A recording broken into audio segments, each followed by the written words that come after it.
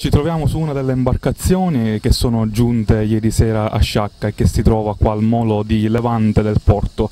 Eh, stiamo parlando del Trufi eh, Beille Suffren, eh, 16 eh, importanti imbarcazioni, due sono appunto come dicevo qua sul molo di Levante, mentre eh, le altre 14 le troviamo eh, nel molo messo a disposizione dalla Lega Navale a Gaia di Garaffe. Imbarcazioni molto belle e che sicuramente stanno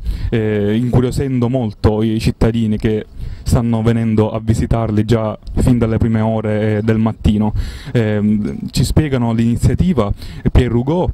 Silvia Figari, che sono due responsabili di questo trofeo, e l'assessore Ferrara assessore al turismo che naturalmente si dice soddisfatto non solo per la presenza eh, di questi importanti personaggi e di queste straordinarie imbarcazioni ma anche perché tutto questo eh, sta eh, portando un ritorno economico alla città. È, è, il trofeo più importante che è organizzato, è l'unica corsa eh, regata al largo nel Mediterraneo in questo stile con barche d'epoca.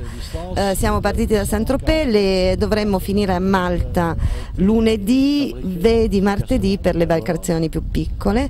e eh, per un totale di 890 miglia circa. Allora questa barca è stata è una replica identica a quella che era Atlantique nell'epoca. Atlantique è una barca che data del 1903 che andò poi eh, distrutta alla fine della seconda guerra mondiale e il signor Ed Castellan che tra l'altro a bordo con noi che è l'armatore, che è colui che l'ha anche rifatta, ricercando i piani d'epoca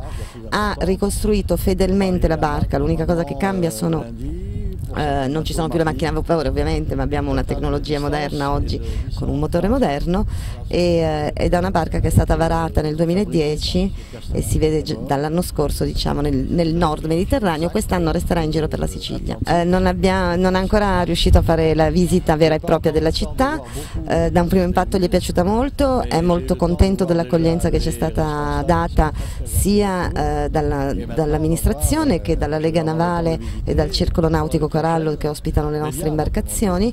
e eh, scenderà a terra poi nel pomeriggio facendo una visita guidata ma di primo acchitto molto bella e per quanto riguarda l'anno prossimo vediamo. Lundi, per certains bateaux mardi. Stiamo avendo un momento di promozione turistica importante perché eh, diciamo, oltre a loro ci sono dei giornalisti di varie riviste di vela che parleranno della regata e della città di Sciacca, sono ospite eh, qui queste, di, eh, di, questa regata, quindi sono con noi e stanno visitando la città e quindi per noi già questo è un momento molto importante. Poi hanno messo su quadro la, la, la, città di Sciacca perché stanno coinvolgendo la lavanderia, i mercati, mi hanno ordinato 100 bottiglie di champagne, insomma voglio dire c'è un bel movimento già che, che, si è creato e credo che sia un bella, una bella cosa perché comunque può diventare una tappa importante e se ne è parlato in tutto diciamo, il mondo, per, diciamo, in questo mondo tra virgolette di vela